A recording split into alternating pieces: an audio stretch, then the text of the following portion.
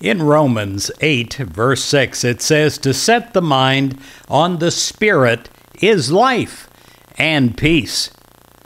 Well, summertime is meant to be a time of joy. It's also meant to be a time of discovery.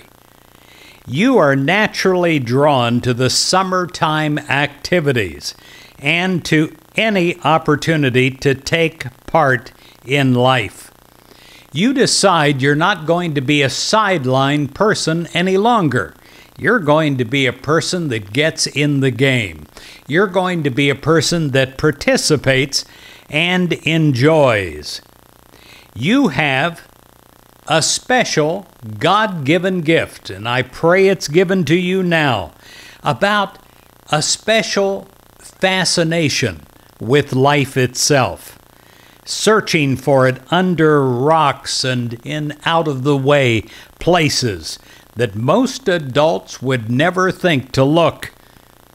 You're ready to follow and find new trails with great expectation.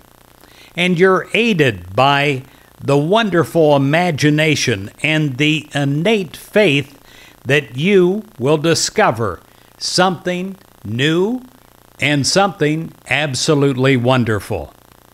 You can discover and enjoy life every day and in every moment of life.